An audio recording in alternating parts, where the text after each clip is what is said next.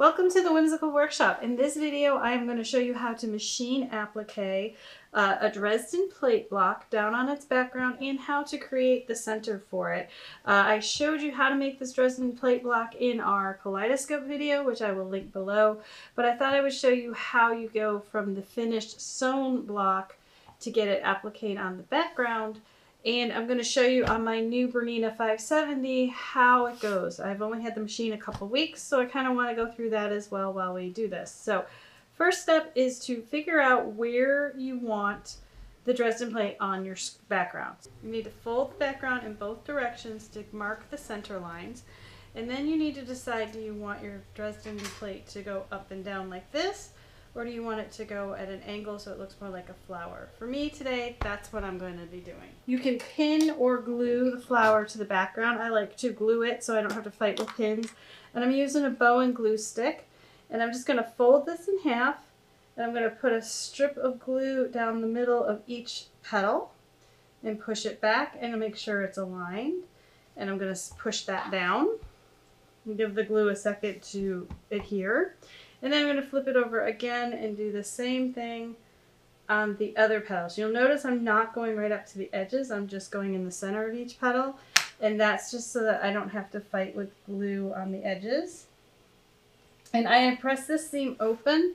So when I go to glue it down, I want to make sure it stays open even though we're folding it back and forth because that will just give us a wrinkle in our flower, which we don't want.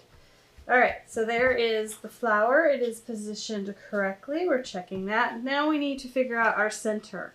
Uh, the kaleidoscope ruler I used did not come, is meant for kaleidoscopes. It is also a Dresden plate ruler. Here it is. But it doesn't give you a template for your center of your circle. So what I'm going to do is I'm going to use one of these little drafting templates. These are super, super fun. If you don't own one of these because you didn't have to take drafting like I did, um, you can get them on Amazon. They're in the drafting and school supply section and they come circles this tiny all the way up to like really big circles. I have a whole bunch of these, but I just pulled out the one that will work for my flower. And now you can see what I can do. I can decide, do I want a little center on it? Do I want a big center on it? Do I want something more like this? So I can kind of decide without cutting anything which size I like. So in this case, I'm going to use, I'm going to finish it at one, well, let's see here. What I'm looking at is I think I'm going to do a 7 8 inch center on here because then I can use the 1 and 3 eighths uh, circle with your quarter inch seam allowance so I'm just taking the side I want, size I want, adding a half an inch, and that's the size I'm going to trace. So I guess it doesn't really matter which one. I could go with go with this, and this is actually what I'm going to end up as a finished center. That is if you're going to do a finished edge center. If you're going to do raw edge, you can just trace this onto fusible web, trace it, iron it onto your fabric, iron it down, and finish your edges. It's totally up to you that is the route I usually would go is a fusible web center because it's quick and easy and very, very simple. But today I think I'm going to show you how you can do a circle with a finished edge because the whole Dresden plate has a finished edge. So I think it'd be nice if they were both finished. So what I'm going to do is take two layers of fabric, take my circle template, and it doesn't have to be a fabric pen because this is our cut line, not our sewing line. So I picked up a nice easy Sharpie that will show up very nicely. There is my perfect circle. Then I'm going to take some scissors and I'm going to cut this out as a square and then cut it out on the drawn line.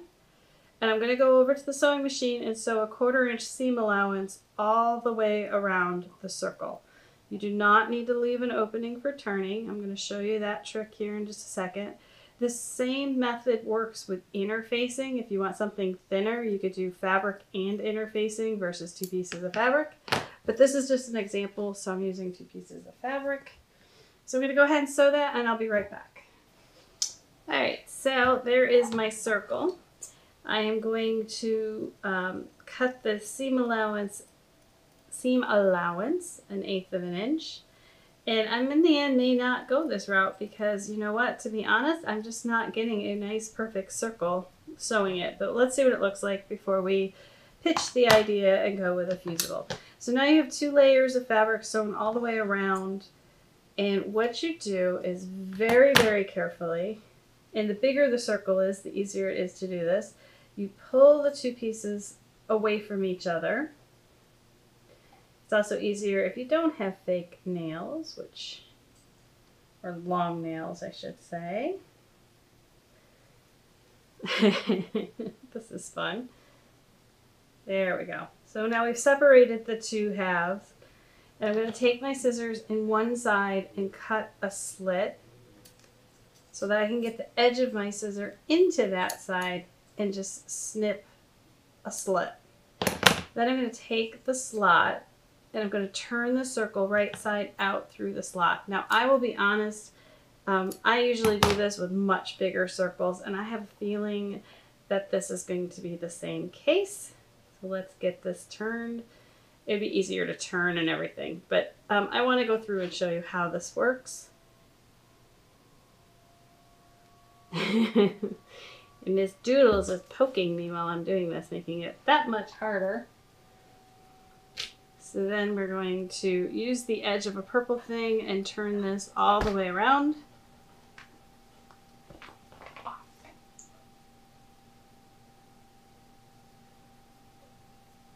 As you can see, I just kind of work my purple thing all the way around and there is my center, but that doesn't look very circular.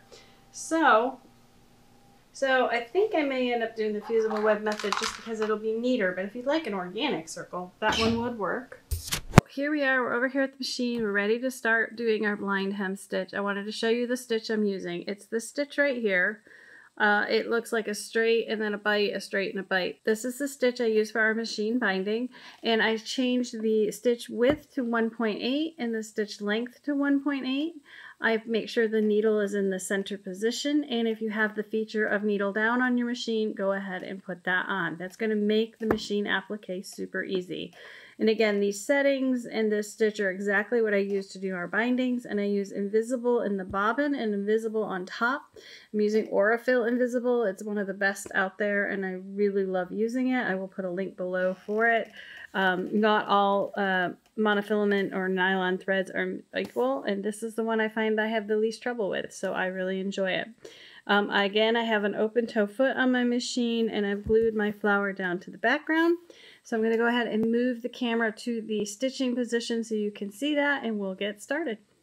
So we are ready to start stitching our flower down and if you have a center line on your machine you're going to want to have the center line going on the edge of the fabric and we're going to start over here because the bite is going to go to the right not the left and we're going to start in a nice straight area I don't want to start on uh, in a pivoted point or on a point because it's going to be harder to align my stitch. I'd rather warm up to it, if that makes any sense.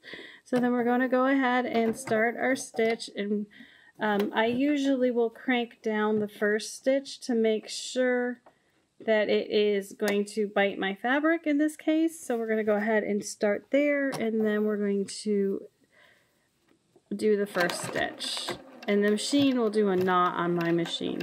So there we go. It's the straight is going into the background and the bite is going into the edge of my flower and you want to go slow. When you get to the end, you're going to want to pivot, do one stitch at the end, pivot, and then go continue down the straight.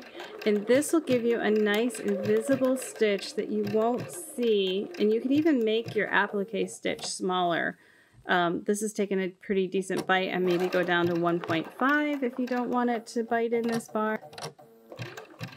And you want to just make sure that it's staying aligned with your fabric edge. Again, pivot, do in that case, it didn't want to hit the edge, so I'm going to go ahead and do that. Now I'm brand new to this machine. I've only had it a couple weeks, so if it looks like I don't know how to drive, it's because I'm just not that comfortable with it yet because I haven't done a lot of this. This is the first machine applique I'm doing on the 570. It's a wonderful machine, but just like anything else, if you're not used to it, you know the quirks of your own machine. So I'm still learning like where things align and how to make sure it hits the edge and you know when is it going to not. Uh, I also am coming off of a 20 year old machine that did not have all these automated features. Okay, so again, I'm going to pivot at the point, caught the point. and if you don't catch the point, don't try to go back and catch it. Just keep going. And at the end, if you need to do a little hand stitch there to do it, it's going to look much neater than if you try to, you know, make the machine hit the spot you want it to spot hit.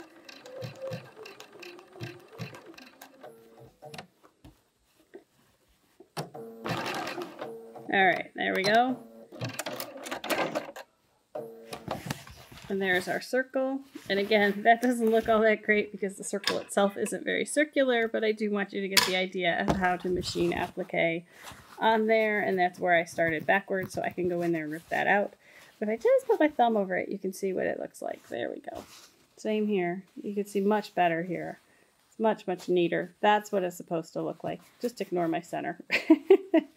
and that's it. That's how to machine applique on your Bernina 570. Uh, try to do it without a camera in front of you and try to make your circle in the center straighter. Um, what I think I might do is pop that circle out and just go ahead and put a fusible circle in there and finish the edge of that just so it looks prettier. Um, but I did want you to see how you could do a circle that way. Uh, and obviously if the circle is bigger, it will come out much, much neater than mine. I hope you've enjoyed this video on how to machine applique, uh, especially using the Bernina 570. I've really enjoyed having this. I'm just, like I said, just learning how to use this machine.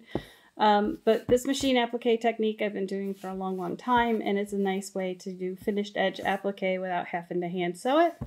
So if you have any comments, please leave them below. If you've enjoyed the video, make sure you like and subscribe and give me a thumbs up. And as always, thank you for watching.